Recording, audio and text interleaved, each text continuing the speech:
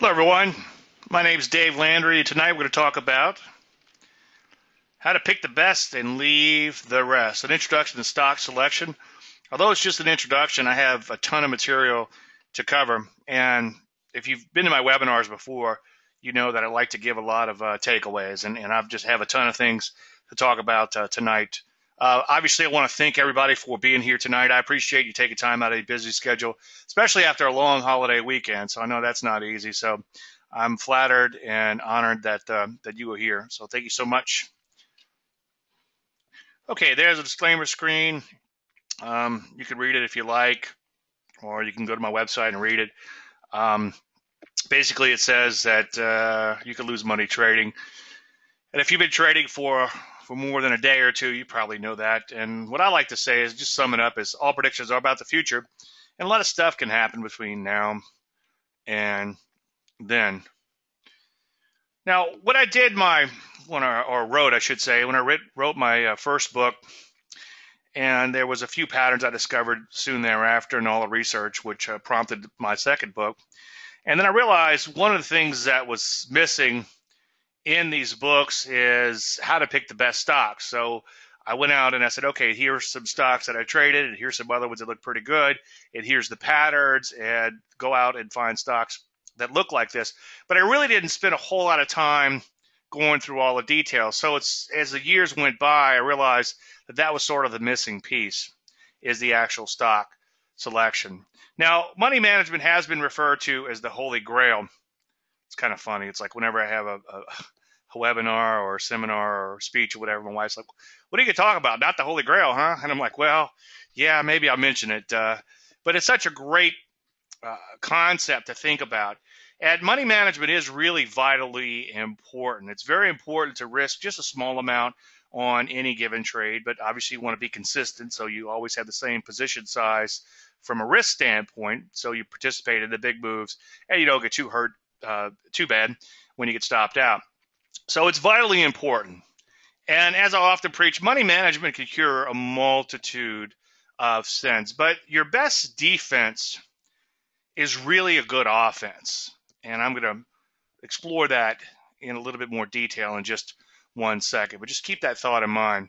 Now, if you're getting stopped out a lot, you have two problems. Either your stops are too tight, or you need to become a better stock picker, or maybe a combination thereof. Now, if you've if you've uh, been to my weekend chart webinars, you know I tell this story over and over. To, so to those who are regulars to the weekend charts, uh, my apologies for telling the story yet again.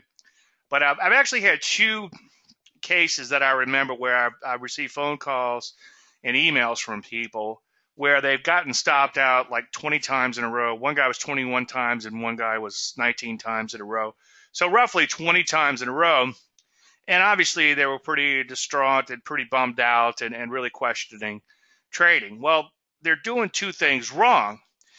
Number one, their stops are probably too tight, and that's an easy fix. And I fixed a lot of people just by telling them, hey, just loosen up your stops. You're going to catch more and more trends. Obviously, you want to compensate for the added risk by reducing your share size down a little bit to get that consistent percent risk per trade down.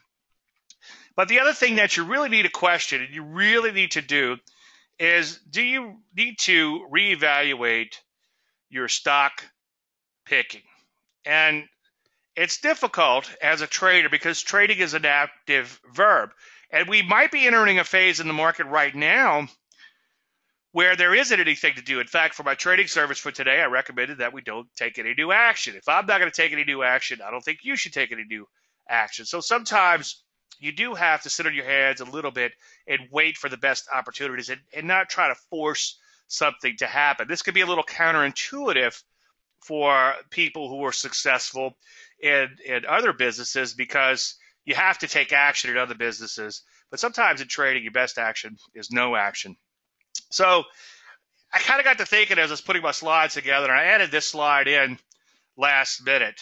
And I think it's just such a wonderful explanation of what it takes to become a trader. You again, like I said a second ago, some people say that uh, the holy grail of the trading is money and position, position management, and it's incredibly important Don't get me wrong, okay? And this is why I'll probably do a, a, a seminar or a course just on this. And I definitely will do uh, a course just on psychology.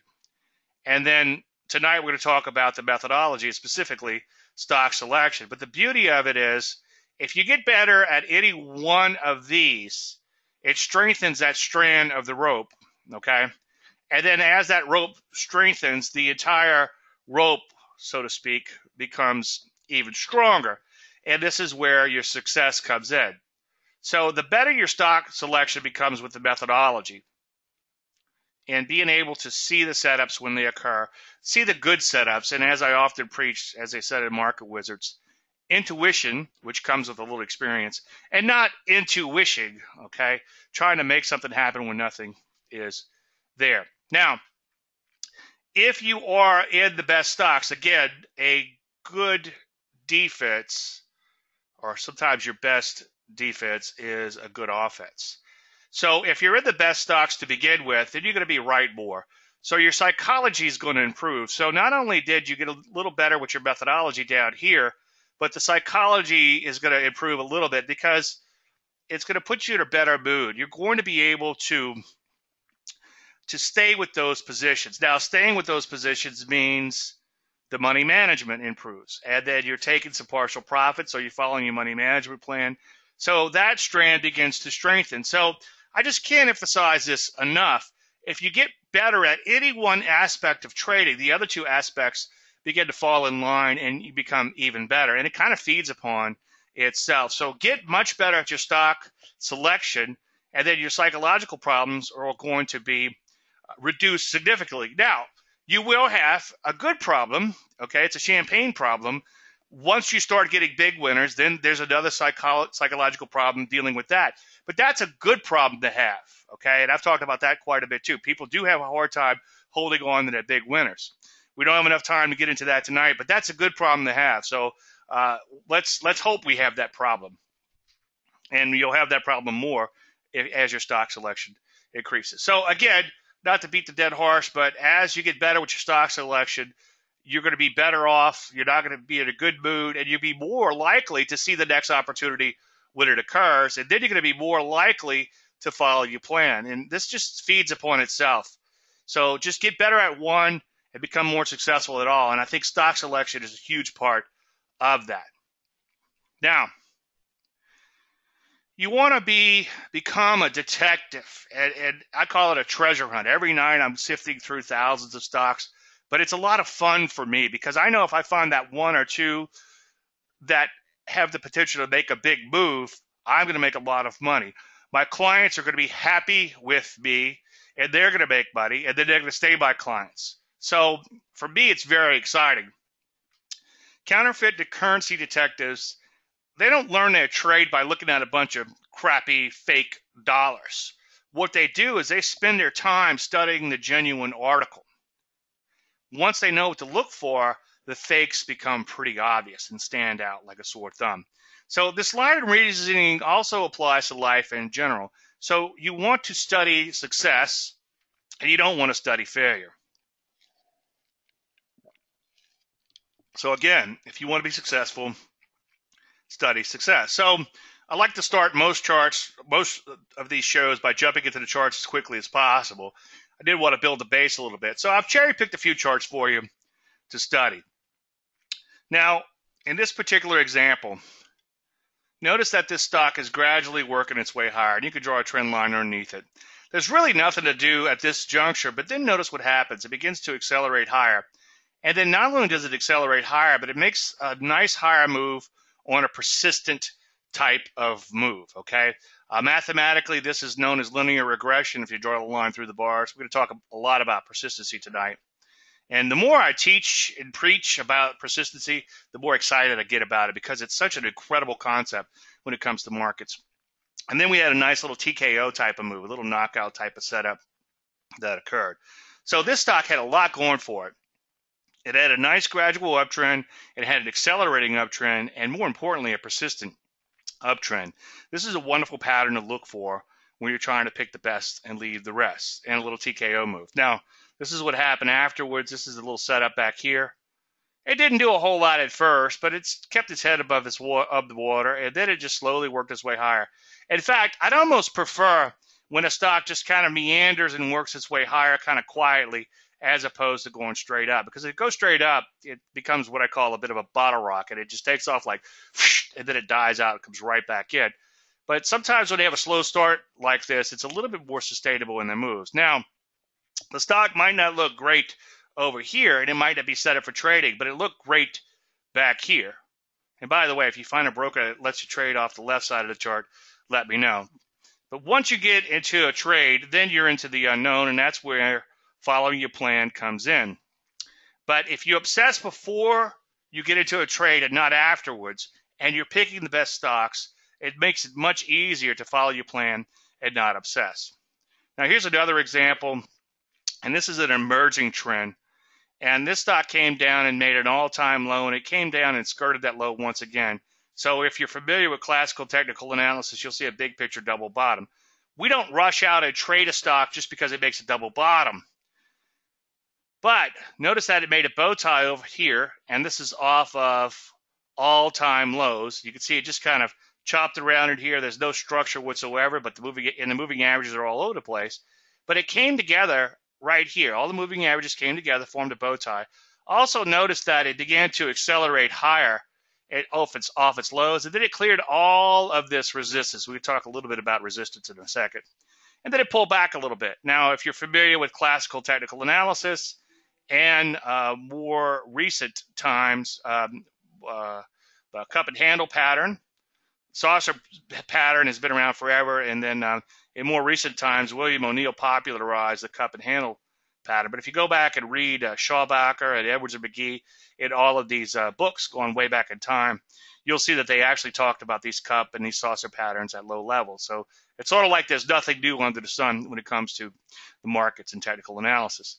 But anyway, you can see you have a nice persistent move, and this is where uh, I, I, as I said earlier, every time I talk about persistency, it just seems I seem to see it more and more in the markets, and it's just a wonderful concept. So this is a very nice uh, setup here. Stock appears to have bottomed out. It cleared the resistance, and again it pulls back a little bit. You got big picture patterns working, and you got a nice little setup.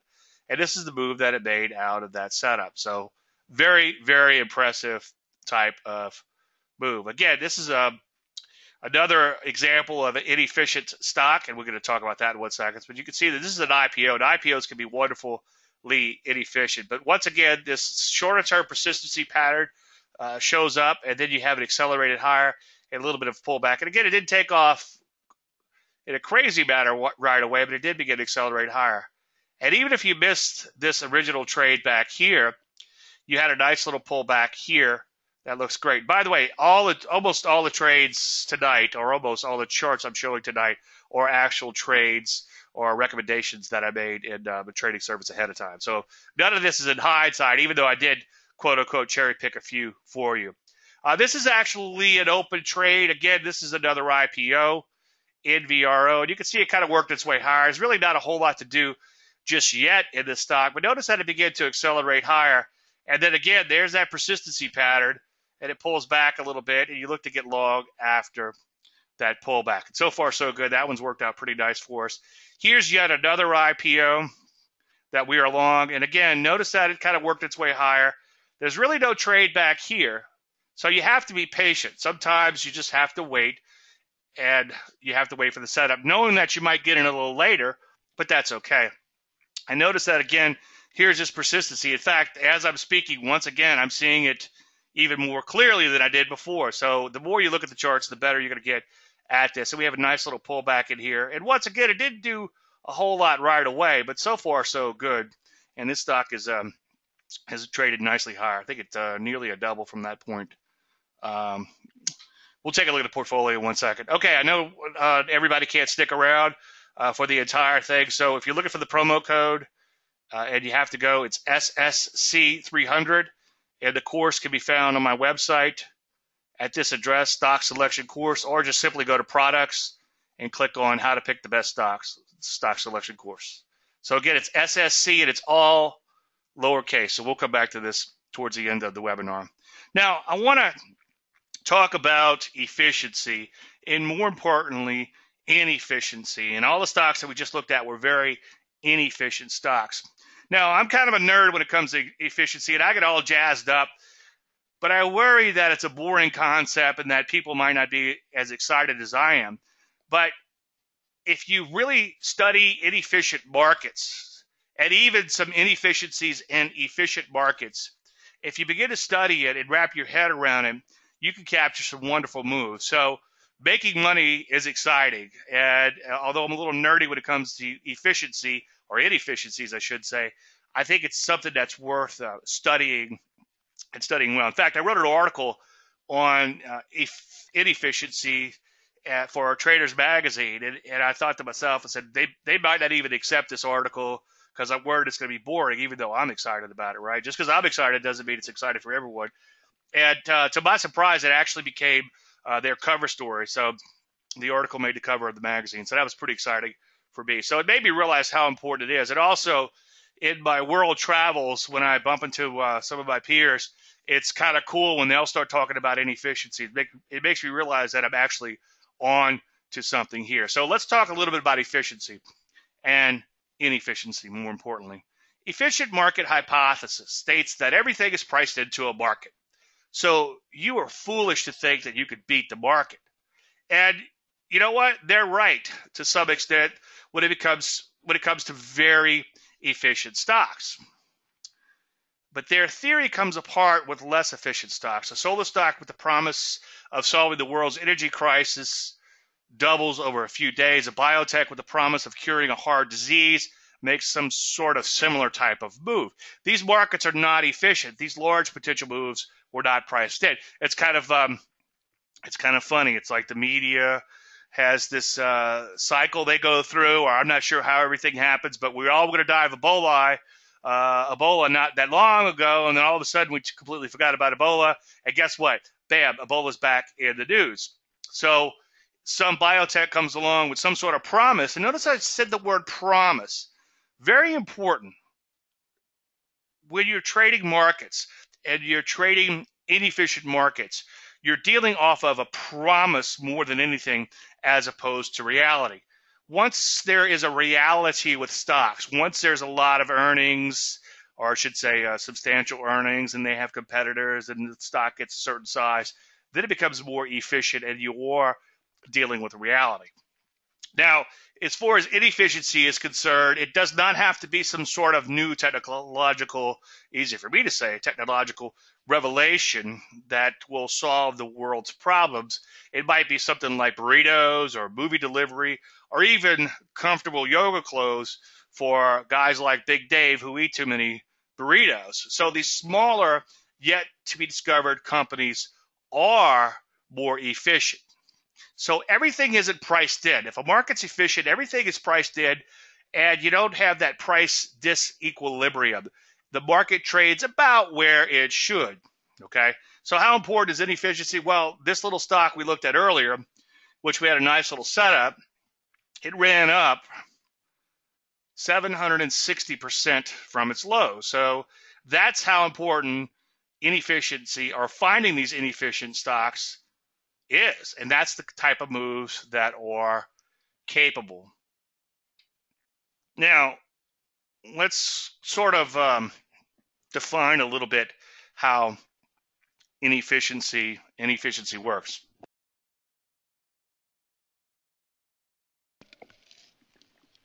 You can see that down here we have efficient stocks and then they become more inefficient as you move up. So, for instance, a large cap stock. So, you've got some big, huge company, and there's hundreds of analysts analyzing it, and hundreds and hundreds of funds or thousands of funds own this company.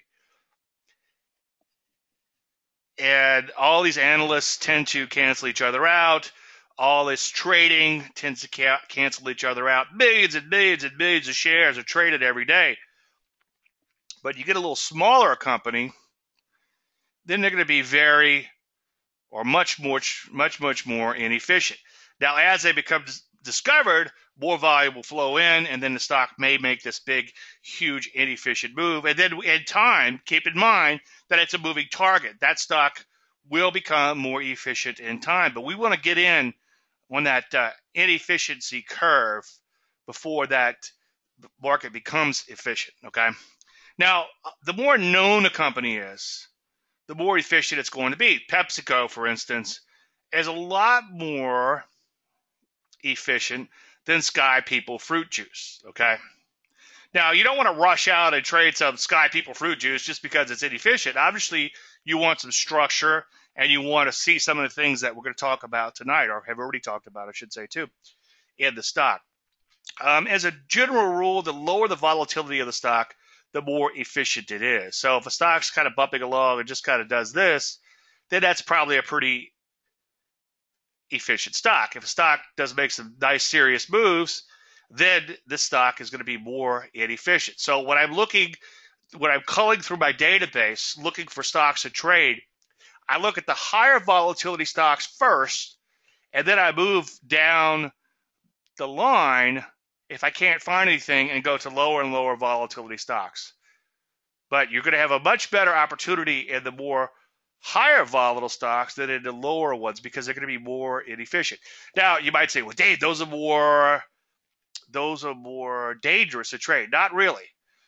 Okay, if you have time, or if you don't have time, do it anyway. Go ahead and watch last week's Week of Charts, and uh, we talked a lot about that. In fact, that's a, a topic that comes up quite often. You're much better off in these inefficient, more volatile stocks than these efficient ones because something bad could always happen in an efficient stock. in fact, I have a strategy based on just that or something similar to that, which I'll show you in just one second here. Now, if a company has fundamentals versus no fundamentals, then I, by fundamentals I mean quantifiable fundamentals. I guess all companies have some sort of fundamentals, but it's kind of fascinating. Is Trill T R I L, which was a uh, an IPO. I think it ran up about 100% a while back. That we were we were long. We caught uh, we caught a pretty good bit of that ride higher, and we gave back a little bit, but we got stopped out at a nice profit. But I was doing a presentation. I think it was um, it might have been for I'm trying to think for who. Uh, it might have been for my trip to Italy, I think, where I needed to uh, show some examples of inefficient stocks and to, to tie it into the fundamentals or lack thereof. Anyway, uh, I rarely do this, but on this particular case, I went to Yahoo Finance and I looked up the company and to see what their fundamentals were, what their earnings were, and they actually lost two dollars and ninety one cents. Now we got into trade around fifteen or sixteen bucks a share, if memory serves, and they lost three dollars a share. That's a substantial, substantial amount of loss for a company. So if you have no fundamentals, then you're going to be more inefficient because the stock is going to trade on emotions alone. Okay, so there's not a whole bunch of analysts fighting it out. Oh, it should make one penny more per share than its comp- competitors or whatever. It's kind of a big unknown, a big question mark on how to what's a good word? How to quantify what the price should be. So it's going to be very inefficient or more inefficient with less fundamentals. Now I could spend I could spend way more time on this than than than you have and I have tonight because it's just something I'm very passionate about. But wrap your heads around um, efficiency and understanding it. So so what do you do with efficient stocks? Well, efficient stocks can make inefficient moves, and your best patterns for them, and also for efficient markets like forex too, by the way, is to look for them to make a major high and then look for some sort of sell pattern afterwards. In this particular case, notice that this is UAL. This is one that we're actually short right now. Notice that it made this big old base in here, and then it began to break down and pull back a little bit. This is a first pullback after a base breakdown. It's also what I call a first thrust type of pattern. If you put the moving averages in, you'll see that they crossed over too for uh, another signal in here. Now, this isn't the most beautiful setup in the world, but remember, this is an efficient stock. So they can make one four opportunities on the short side. So, but don't just run out and blindly short them.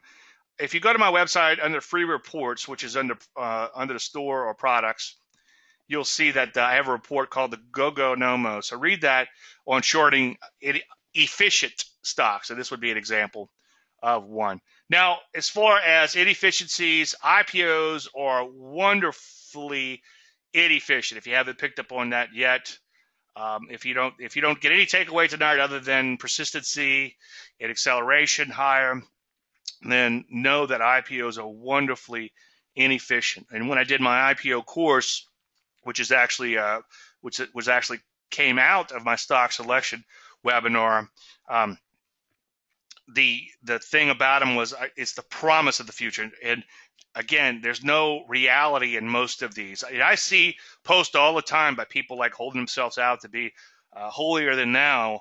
And, and they, they, they do these blogs and they say, oh, 90% of these IPOs have no fundamentals. And it's like, you know what? That's exciting for me.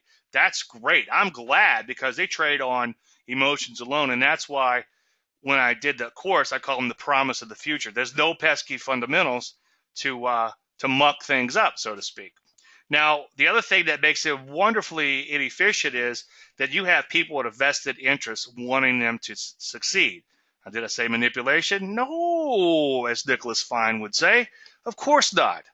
Now, the other thing is they have no bad memories. I'm going to talk a little bit about this in just one second. Bad memories are people who buy in a range and let's say the stock drops. And then when that stock tries to rally back up, it's going to hit this buying in here. And I'll talk quite a bit about that in just one second if you could just stick with me. Uh, they trade again purely on emotions, which makes them a chart reader's dream. Now, here's a little inefficient. This is SolarCity from a while back. This was in the trading service.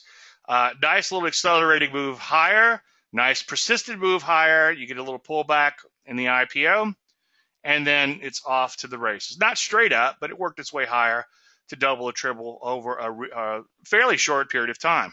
Okay, so that's efficiency and inefficiency in a nutshell. Again, we could talk for a lot more on that. It's a very, very important concept.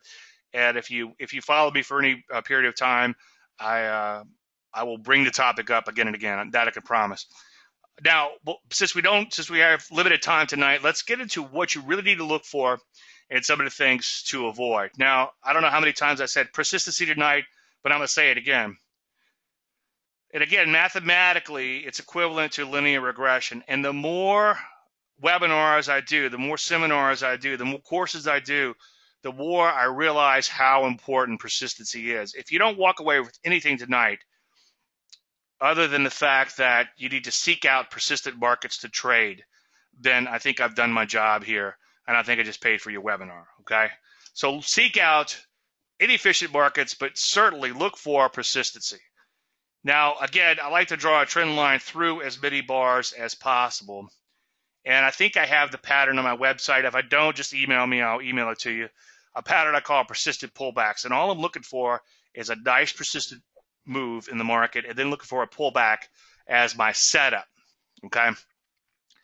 If you are new to trading or newer to trading, or if you've been around a little bit and you're having trouble trading, I would recommend you just come back to this one pattern, persistent pullbacks, and only trade that one pattern until you get good at it. The beauty of it is it's going to keep you on the right side of the market.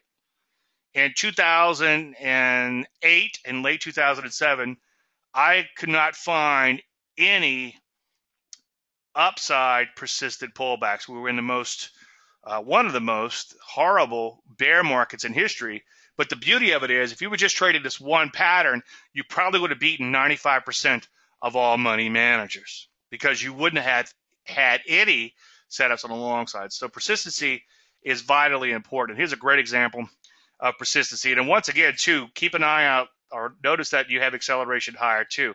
And notice that it tends to go up day after day after day after day. Nice persistent move higher in here. You got a little TKO type of move, a little acceleration higher. So that's what a nice persistent move looks like. And that's what a clean chart looks like also. And I'm going to talk about this in one second too. Never forget if you could draw a big arrow on your charts, it's probably in a trend. Now, this is what a bad stock looks like. Looks like electrocardiogram. And if you look at a chart and keep this electrocardiogram picture in your eyes, I'm sorry, in your mind's eye. And if you could hear beep, beep, beep, beep, beep, it's probably a stock that you don't want to be trading. So let's look at what an actual electrocardiogram looks like. And you'd be surprised. I get charts like this all of the time. And people's like, hey, I'm thinking about buying this stock or selling this stock. It's like, well, wait a minute. What is your structure? This stock, and this is actually eBay, which is usually a very efficient stock.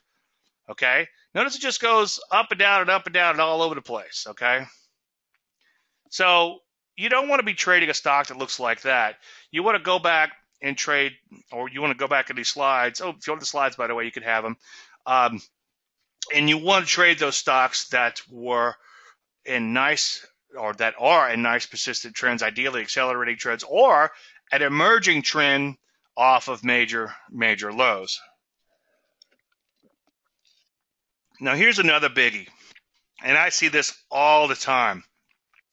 When you're looking at a stock, a lot of times you'll kind of in your mind's eye draw this little dotted line, and you'll see it's up here, and it was down here, and you're like, oh, you know, Dave says draw a big arrow on the chart, so look, there it is, lo and behold. But it does take a little while to recognize this, and I'll show you something really simple that will help you in just one second if you hang in there. But you want to make sure that the trend is accelerating. So notice that this in this figure here, the market isn't very much higher than it was going back in time. So this is again, notice that in all the charts I've drawn so far, I've showed you this accelerating pattern.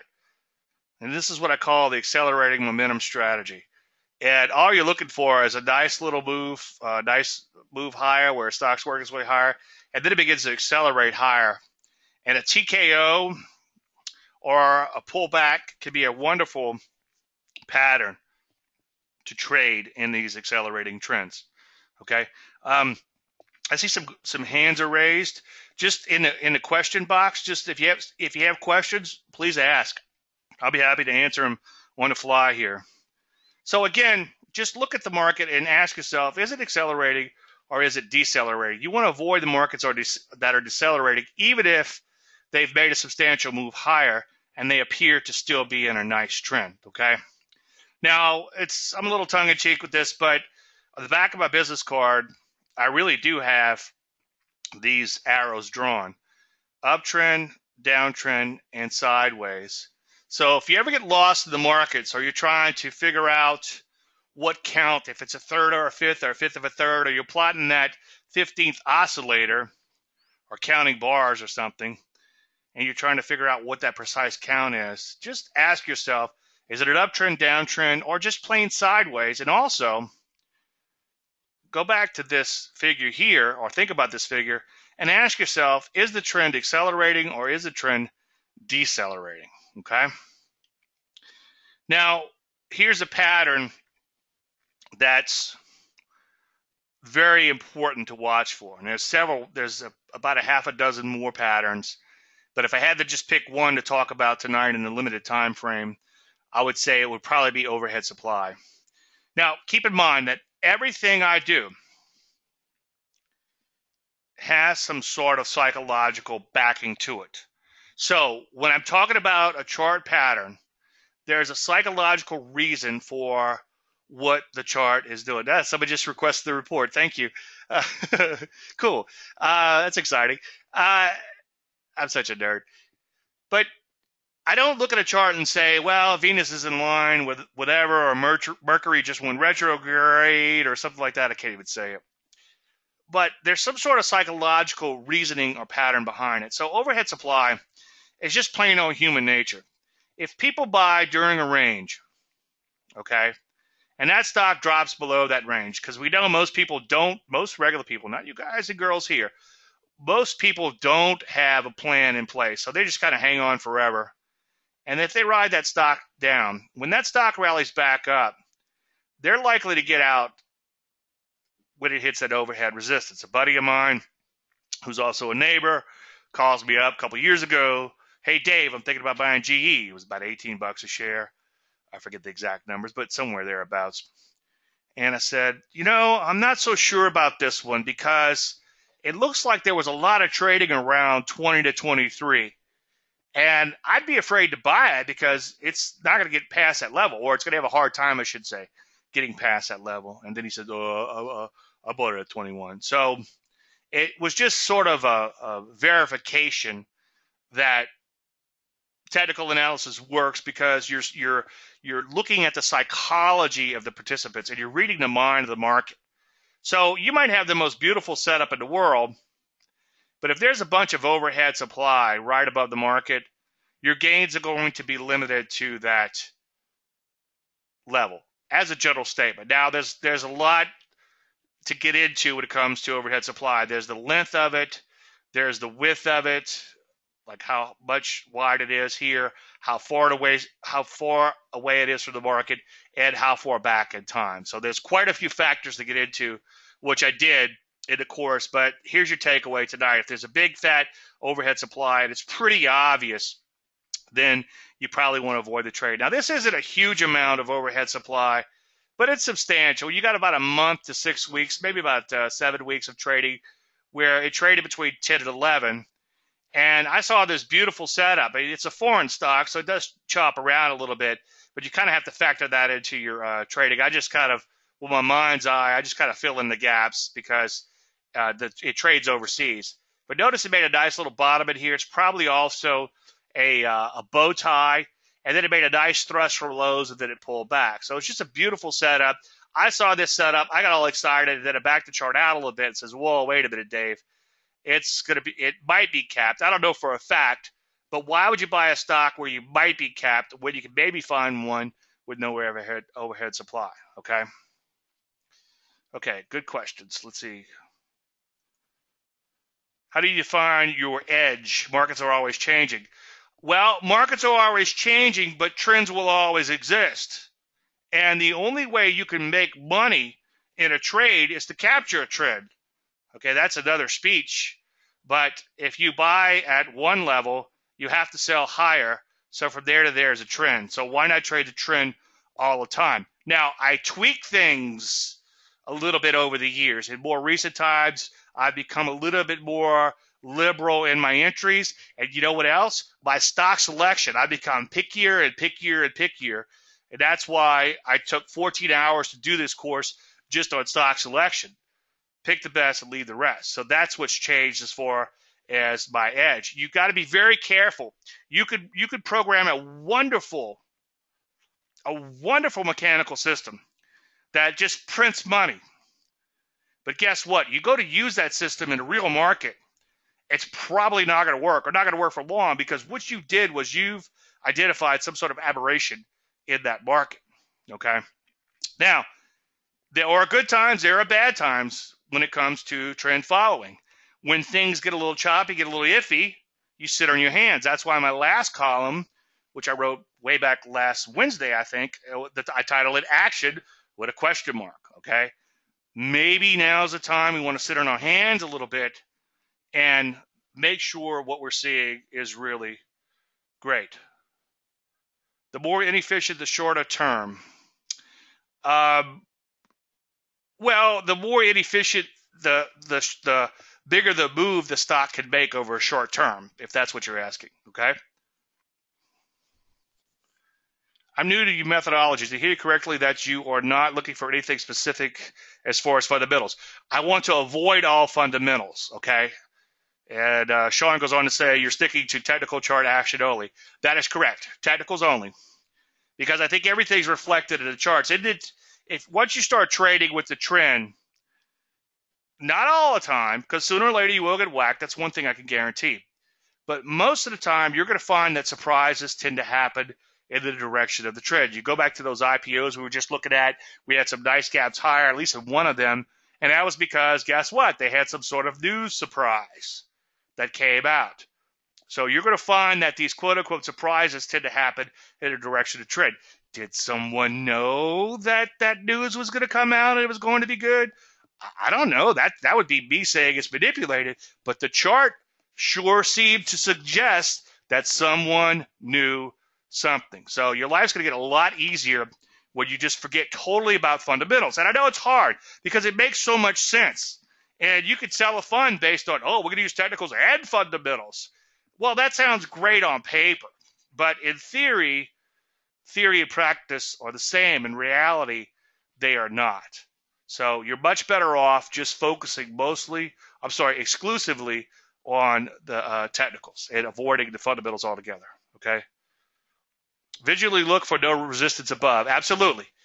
When I do my scanning on my charts, and one day I'll see if I can record both screens at the same time. I think it'd be kind of fun to do. But if you look at my desk, if uh, you have a chance, go in and watch the video I did on uh, stock. Um, I'm sorry, on setting up your computers for trading. My main analysis, and this this is a computer I'm working on now. I have some ancillary monitors over here with some other stuff going on, but my main analysis is done on these two monitors that I'm working off of now.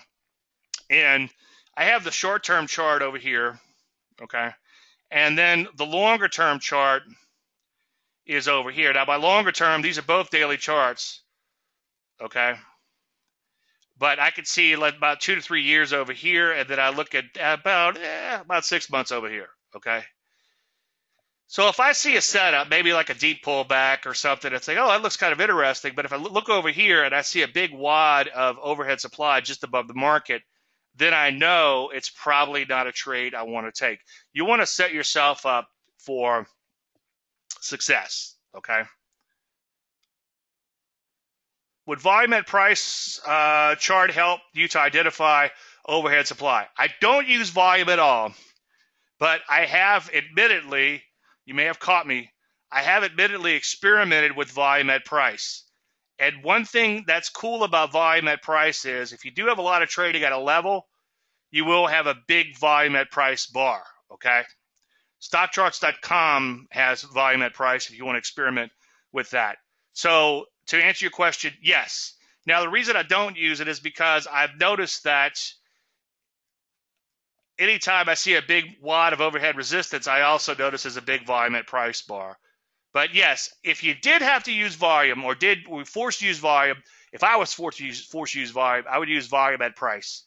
I think there's something there, but for me, it just identifies what's already in the chart to begin with. Now, I don't want to go into a rant about volume, but there's derivatives out there that could that could skew the volume, and there's volume that's not being reported properly, and then of course there's HFT, high frequency trading going on. So there's a lot of fun and games and crazy things that happen with volumes, and I could actually make an argument um, both ways when it comes to volume, but uh, not enough time to get into that tonight. Okay. Now, one other concept, and then I'm going to get back to your questions. But one other concept that I really want you to take home tonight, too, and this kind of goes back to the uh, acceleration versus deceleration of a chart. It's the most simplest thing in the world. It's a net net price change. Ask yourself, where's the price today and where's the price going back in time? Okay. A week, a month, or even longer. And you'd be surprised at how many people will say, "Hey, Dave, what do you think about this stock?" And, it'll look like this. It's a pullback, right? Well, no, it's it it hasn't done anything in two or three or four months. It's going completely sideways. Yeah, longer term from here to here, it might still be in a trend. And if you're long that stock, if you picked it up way back here and you had some little emerging trend pattern or, or a bow tie or something that we talked about earlier, then by all means stay long that stock let the stop STOP take you out. But again, you want to look for perfection going in. So again, ask yourself, is it higher, unchanged, or lower than it was going back in time? And you'd be surprised at how many people, again, will ask me about a stock that hasn't done anything in two or three months. So that's another one.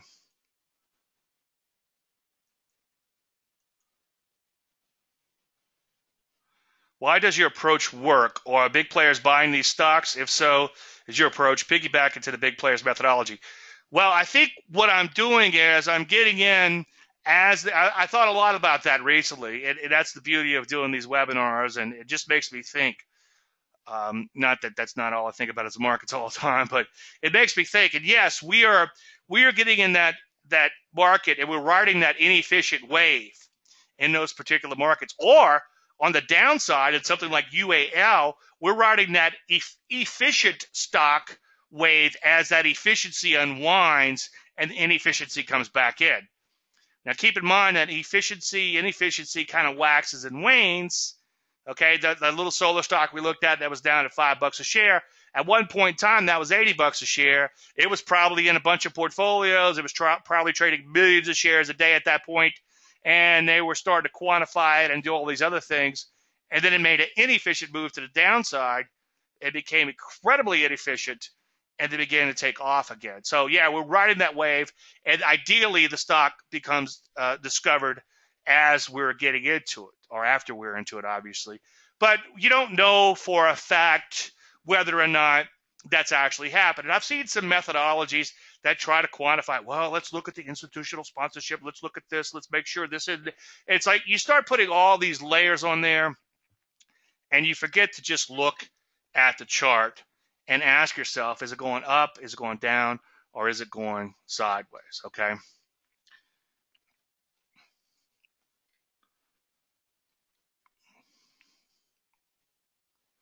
Okay, so the question is what have you done for me lately?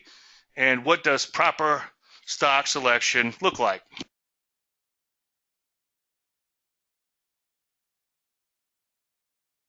So this is the actual portfolio as of, I guess, Friday or as of Monday since the market was closed. And this is a snapshot that I took. Now, the second, this portfolio, just what we do is we divide the shares into a trending loaf and a trading loaf. And the, the, the idea is to capture an inefficient move in the markets. But we start out with a swing trade and we hope that the second half, I know you're not supposed to hope in the markets, but hopefully the second half will turn into a much bigger trade. Okay, and this is our trending trade here, the second uh, part of this. Now, none of these have made extremely incredible gains, but we've got some decent gains in here. I'm not so worried about percent correct, although at the time of this snapshot, 10 out of 12, 10 out of 11 of these were uh, profitable in here. So I mean that's great to be uh, a highly percent correct, but I'd rather make money than be correct if that makes any sense. There, the point is, uh, highly when you're highly accurate, it doesn't necessarily mean you're making money. If we were up a dollar on each one of these, then we could say, oh well, we're 100% correct. Well, what good's a dollar going to do you? As soon as you get uh, whacked a little bit, that's all going to evaporate. So it's much more important to make money, and you make money by riding out these longer term trends. How do you handle earnings announcements? I ignore all news. Write that down. Okay? I do not care about any earnings whatsoever. How much longer? I'm ready to fall asleep. What a dick. Well, thank you, Charles. I guess I'm doing a good job. All right. Well, you know, but here's the deal. It's not my way or the highway, you know if you got something else you, you like to do, if this isn't exciting to you, then uh, then geez, I don't know what what will be. I just showed you a stock up that went up 700 percent. Figure that figure out how to do that. You can make a lot of money. Then you could go to Vegas, and then you could have some excitement with that money. All right, I don't know how to kick people out, but uh, we'll have to kick Charles out. Obviously, he's not a fan. Oh well, yeah, can't make everybody happy. Okay, uh, what's kind of cool here is that now, this doesn't always work this great, so maybe I need to put that uh, dieters thing in here. Results not typical. That's the first time I got called a dick in a presentation.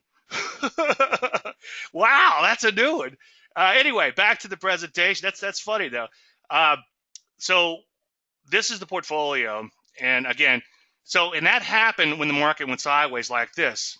Now, sometimes, as I wrote a while back in the column, sometimes you're better off not knowing. So if you could go out and pick the best stocks, and a lot of those stocks were energy stocks, and um, we had some biotech stocks and some IPOs and all these wonderful inefficient stocks that made these substantial moves so far. And that was doing a trending market. So just think if we get a trend and keep this stock selection up. So this is what's got me really excited. Okay. I can't believe how lame this guy is. uh, it's shocking to me how stupid people could be, especially this guy. All right, Charles. Let me kick him out. Let's see how we kick him out. well, at least you know he's not a shill. How's that? okay. Right, a lot of questions coming in. Good, good questions.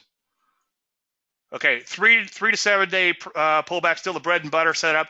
Uh, as a general statement, yes, but a lot of times your best setups or um, or uh, trend knockouts, which could could happen in one day. Okay, so if you uh, just uh, get my slides after this, and I'll send them out when I send out the recording, and uh, look at like that CTLT and uh, what was the other one? CLDX. That was a TKO. Okay, so uh, sometimes that happens in one day. But yeah, as a general statement, your pullbacks two to two to seven days, three to seven days can uh, work great. Okay. We have been in an incredible market over the last several years. What's happened in the market? What happens when the market starts to transition? We start shorting. Okay. Install, correct, and go into a bear market. Love your presentations. This guy who called you a dick is nuts. Thank you, Jeff. And my apologies to the ladies in here. I'm sorry. I just read the questions as I see them. Um, maybe I need to filter that out a little bit. Uh, but my apologies. Yeah, uh, go back and uh, if you want, you could download the service archives from 2007 because we started shorting in 2007 as, as the market rolled over.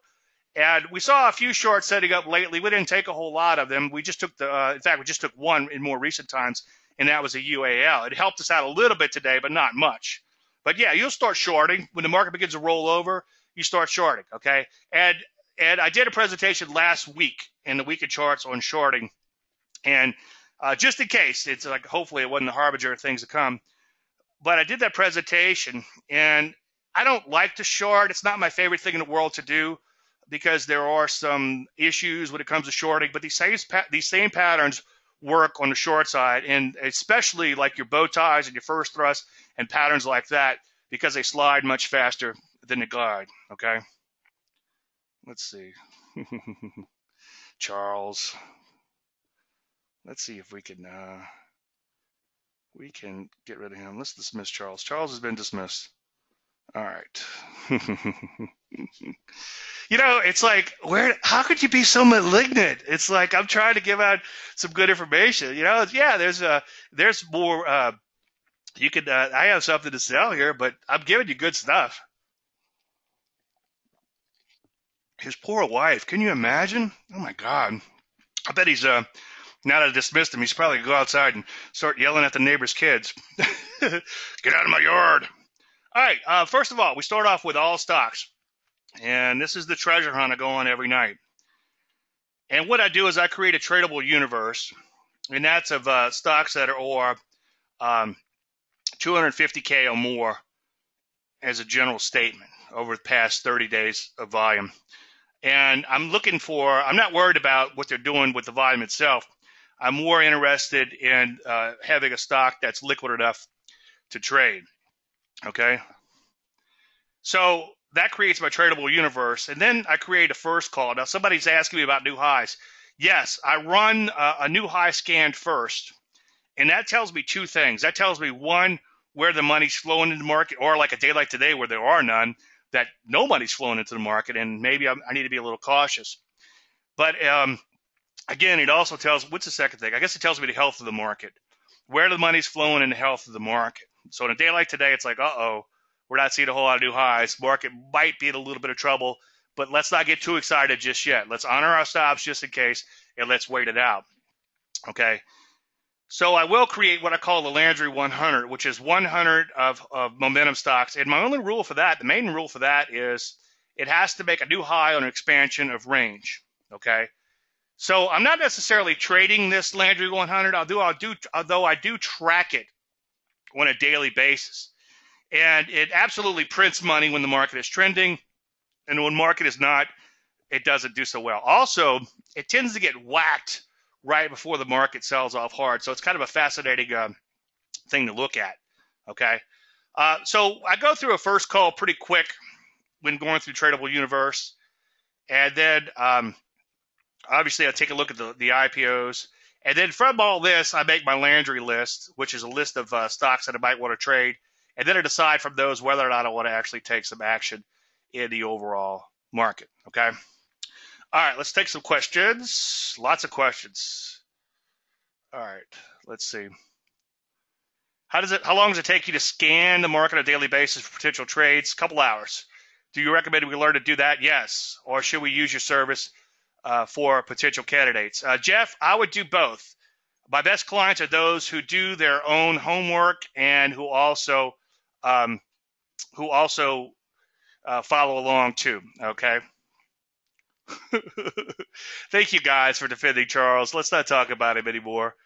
Uh, okay.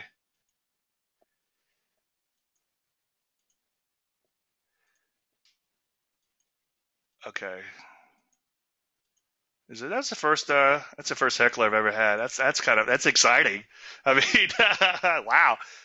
Uh, what are your thoughts on Facebook? Well, um, email me on that or come to the chart show on Thursday. We'll talk about individual charts uh, uh, then. Okay.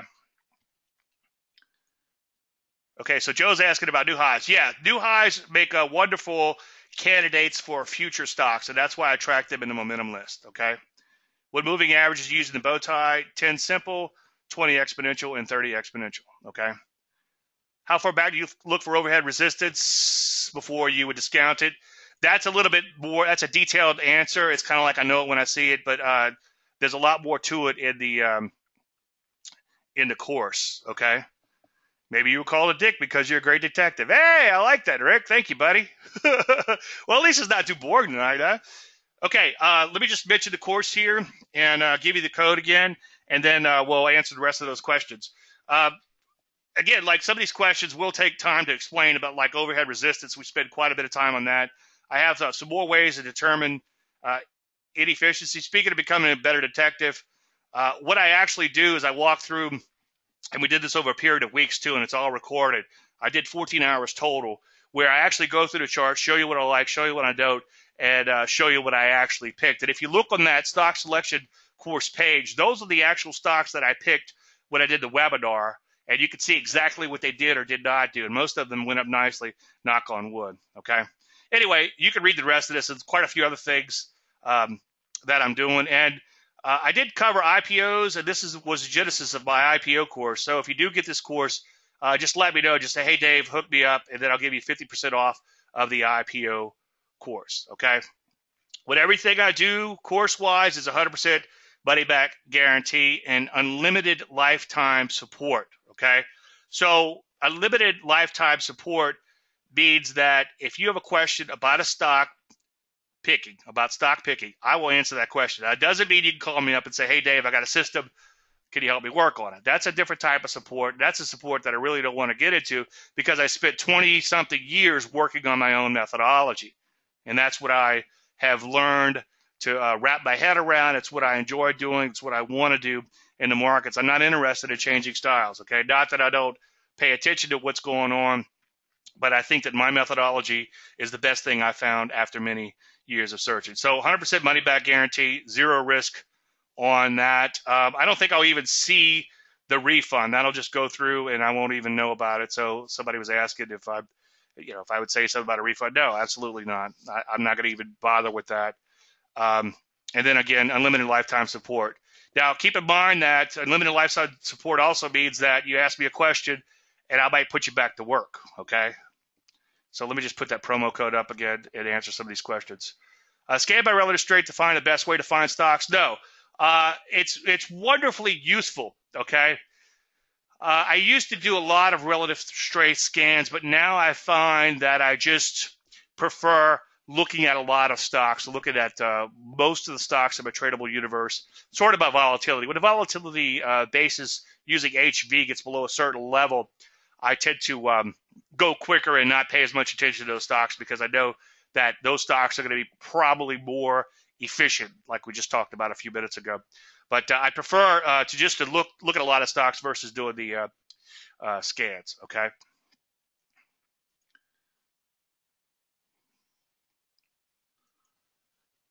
Do I use a rules-based approach along the lines of uh, my edge, or more discretionary? Uh, both. Okay. If I see a stock that's in a nice persistent trend, it's a nice accelerating trend, it has a knockout type of move, then I'm all over it. I'm all excited about it. It's almost like a mechanical type of trade.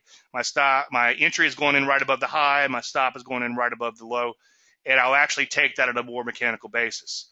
Um, but yeah, there is it is a discretionary method as far as what I'm doing, and obviously uh, there's there's only a few patterns that are a little bit more mechanical. Some of the IPO stuff I actually, I, I hate to use the word close my eyes, the phrase close my eyes, but I do trade that a little bit more mechanically. But most of what I do is uh, is the uh, discretionary method. And uh, but the good news is, if you look at charts long enough, these patterns should begin to jump out at you. Okay. You're welcome, Avinash. Thank you so much. Okay, no, Jeff, you might be seeing an aberration. Jeff says it appears you trade a lot of stocks with price less than ten dollars a share. Are these stocks more risky to trade? As a general statement, they're probably more risky to trade on a volatility basis. But like I said earlier, with volatility comes opportunity, and it's better the devil you know. I would rather trade a more volatile stock than a less one. Now, the only reason you're seeing those stocks less than ten dollars a share is because the energies have gotten really beaten up over the last few years. The metals have gotten really beaten up over the last few years. And then what was giving us opportunities? While this market is just a big fat blue, a big blue arrow going absolutely sideways, what do we have? We had energy stocks setting up, we had metal setting up, and these stocks are just at these really low levels. Years ago, I tended to trade mostly higher price stocks because I was a little bit more short term oriented and a little bit more worried about a point based move versus um, just a move in general. Now I just want to capture a move, and, and I guess you, if you boiled it down, I'm trying to capture as big a percent of move as possible. Okay. Are you going to post this to YouTube? Yes, Heather. Um, except for the, uh, we might have to beep out the foul language. Maybe he was calling me a detective. You know, maybe that's right, huh? Uh, all right. Thank you. Thank you, guys. How do you hang on a stock that uh, will not hit your stop and keep going sideways? How long do you hang on a stock that will hit you uh, forever? Forever. Uh, if you go into my YouTube channel, you're going to see that I do a dead money report every time one presents itself. And my dead money reports, and I wonder if I could pull up one real quick and show you what that looks like. Let me see if I can find it. Uh, here's one. I'm just randomly picking one off my computer. Uh, and this is what a, a stock looks like. Okay, that's dead money. So notice that uh, we got in this one, and our actual entry was back here. Um, oops, not gonna let me do it. But you can see that it just went sideways forever, and then it finally took off, and it went up about 20% in about uh, oh, a month and change. But that's 113% annualized, and in this particular case, it was still counting. So I will stay with a stock until stopped out. It's very hard for many people to do that, but sometimes you have to be patient. Thank you, Frank. Great effort. Appreciate the effort. Great job. Thank you, Barry. Okay. Okay, any other questions? Yeah, the call list, Joe. It, it takes a while to go through the uh, complete call, and I did that in, in, in the uh, in the stock selection webinar where uh, the course where I go through. I start with the entire database. I create the tradable uh, universe, and then from that we start whittling it down, uh, picking out some momentum stocks, looking for some either trend transitions or whatever the market is offering, or some persistent moves. Uh, a day like today, it would have been pretty boring because everything is just kind of chopping around, and some of the stocks at high levels have come back in and they're not really set up just yet. So, and then the metals and mining kind of rolled over a little bit. So did the energies. So we're not seeing any, or I should say, mini setups there. So now might be the time to sit on our hands. But yeah, you start with the uh, like like I said it is stock uh, funnel, you start with the top of the funnel with all the stocks in the world, or at least all of the United States, and then you work your way down. George says, how much weight do you give geographical events such as Greece with respect to U.S. indices? Uh, none, zero, absolutely none. We're actually long Greece right now because we had a setup. Now, today wasn't such a good day for Greece, but let's just see what happens tomorrow. And if we get stopped out, we get stopped out. Like I said uh, last week in the webinars, when you see a chance, you take it. You see a wonderful opportunity, then you just go out and take it, knowing that there's a chance that you might be wrong. But no, I do not worry about what's going on overseas. Uh, I still think the dog wags the tail instead of the tail wagging the dog. But uh, eventually, that might not be the case. Uh, China might become the next big superpower. Uh, but I'm still going to trade U.S. stocks, and uh, maybe I'll just trade more Chinese stocks then too. Whatever market is moving is the market that I'm going to be trading. But right now, I seem to find enough opportunities within the United States. Okay. You're welcome, Kevin. You're welcome, Joe.